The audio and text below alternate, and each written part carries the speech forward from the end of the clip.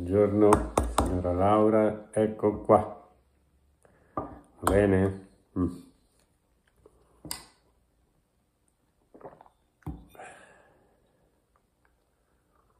Mm. Mettiamolo qua sopra addirittura, così. Ecco.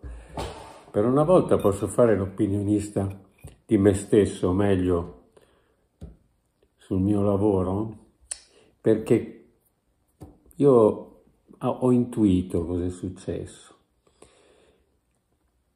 Il giornalismo ha lasciato il posto al cinismo, ma al cinismo proprio da quattro soldi, per cui o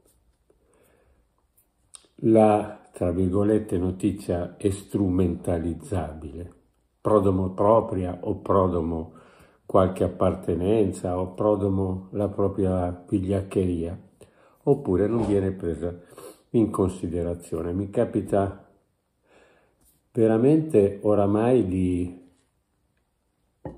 boh, diciamo quasi tutti i giorni, per fortuna che ho il caffè, il mio blog, eh, insomma, perché eh, mi sono sentito dire, ma mi sembra quasi di essere infantile in questo, no? Perché è come se il, il mio modo di lavorare fosse rimasto fermo a tanti anni fa, no? È come se non avesse elaborato il trauma della propria fine e quindi non mi rassegno e continuo a, a provarci. Ma mi sono sentito dire delle frasi del tipo no, guarda, questa cosa qui no perché non è, è, non è abbastanza di sinistra, non è corretta politicamente, addirittura mi sono sentito dire vabbè ma noi siamo diventati meloniani.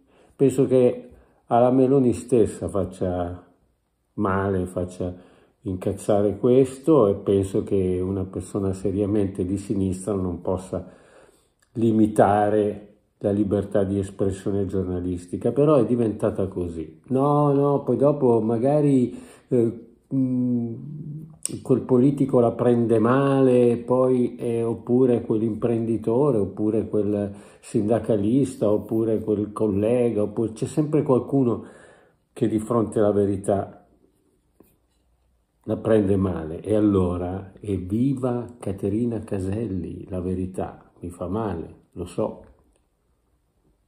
Mm.